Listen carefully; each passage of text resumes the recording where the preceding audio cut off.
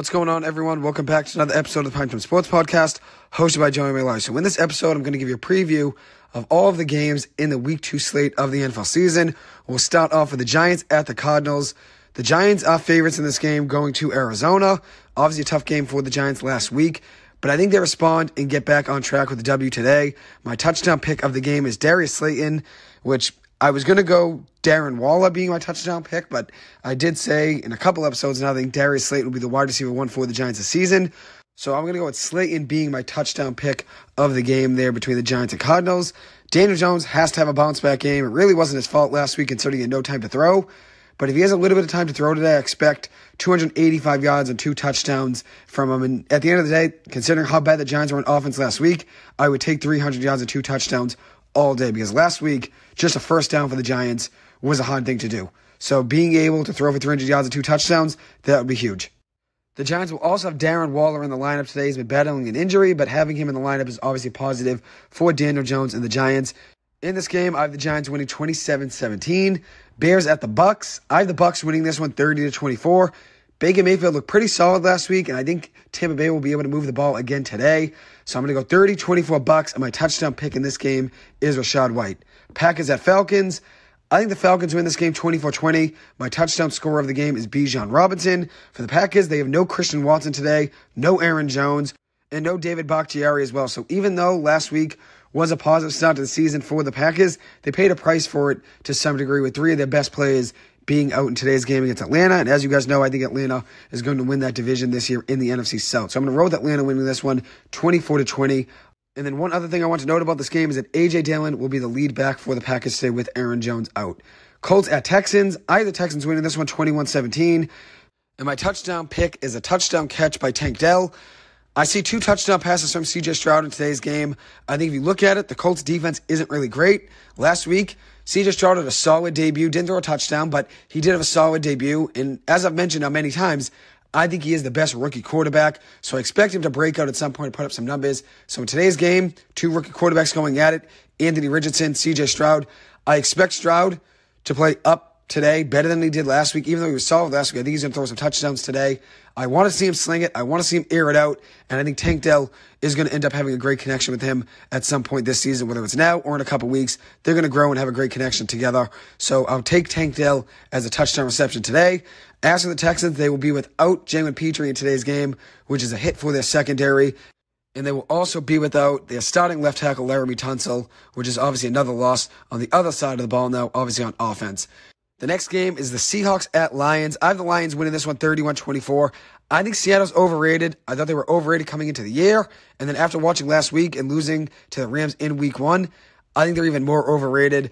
I'm going to go with the Lions winning this one 31 24, considering how good they looked on opening night. Their offense was clicking. They got a big win on opening night on the road at Arrowhead Stadium. It's a big way to start the season. And Jared Goff looked good in that game. My touchdown scorer in today's game will be Jahmyr Gibbs a guy that looked great in his NFL debut last week, and I'm sure he's going to get some touches today. So Gibbs will be my touchdown pick. And one thing I want to say is I do apologize for my voice. I was at the BC football game yesterday.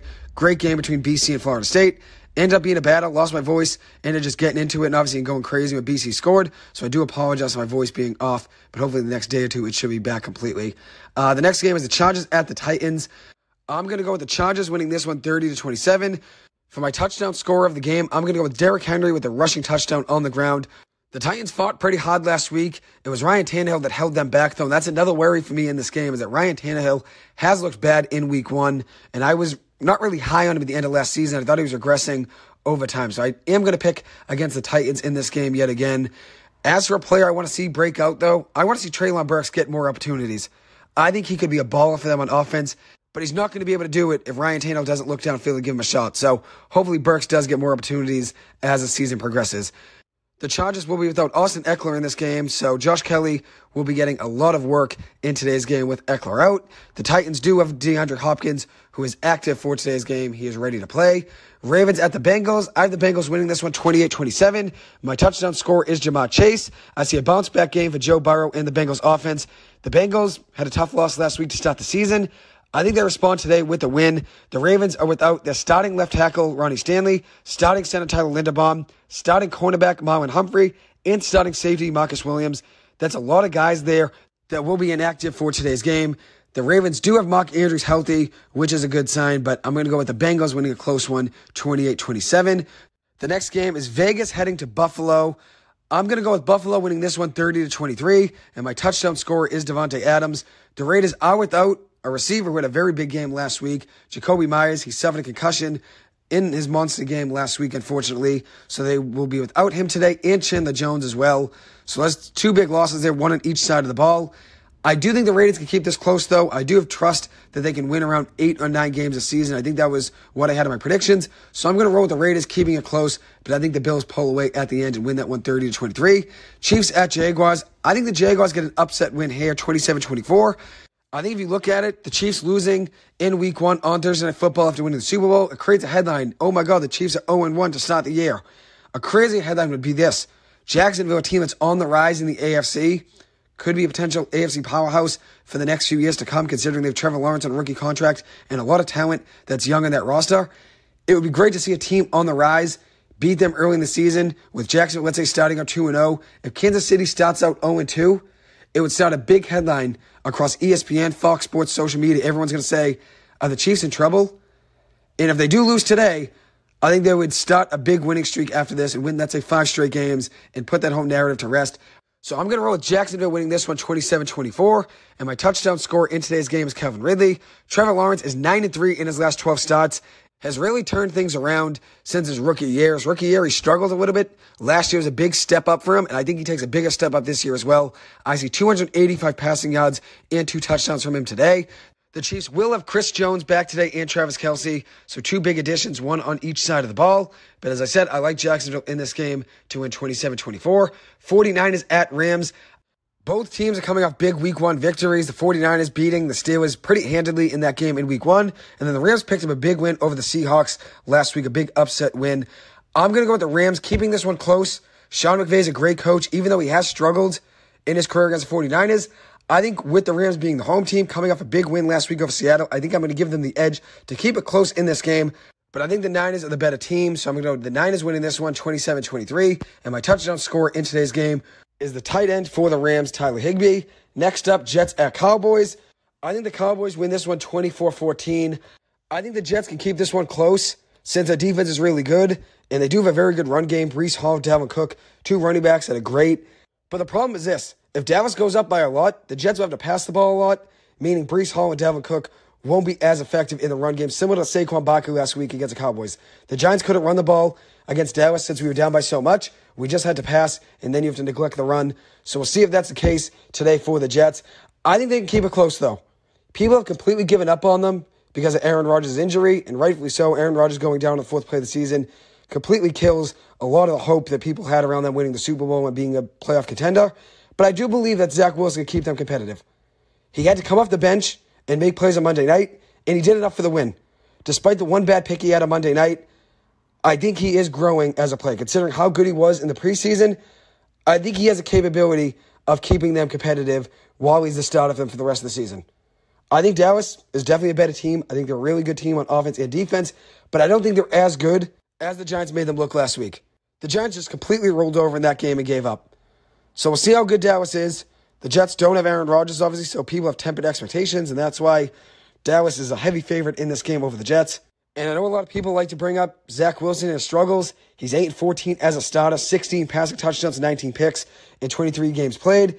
He obviously has struggled in his NFL career, but he did look very good in the preseason. He's learning from Aaron Rodgers now. We learned in the preseason and training camp from Aaron Rodgers, and now Aaron Rodgers is still going to the building and giving him some tips on the side, which is obviously huge considering Aaron Rodgers has seen just about every coverage in the NFL in his career. So it's great to have that voice in your ear giving you some tips on the game and giving you some opinions from what he sees from the sidelines. And I think one thing for Zach Wilson is that he has to just play it safe. Don't force passes. Let him manage the game like he did on Monday night, and that can help them get a win. That's a big way that the Jets ended up winning that game on Monday night. He has to do the same thing against Dallas today. I think Dallas is the better team. I still have them winning by two scores, 24 14. But if the Jets can let Breece Hall and Dalvin Cook run the ball and control the game on offense, it can help out Zach Wilson in the pass game.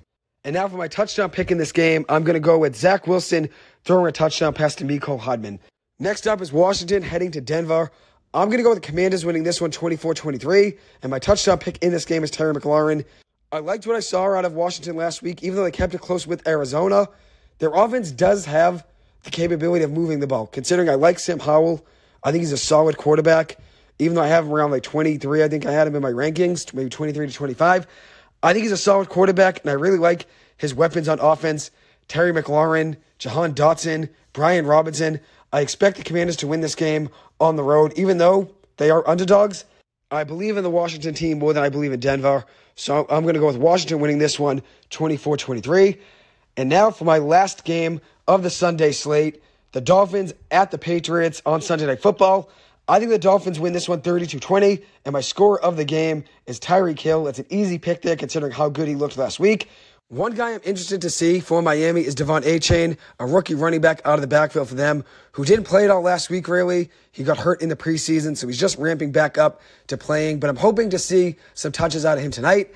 As for my prediction of the game, as I said, I'm going to go with the Dolphins winning this one 32 20.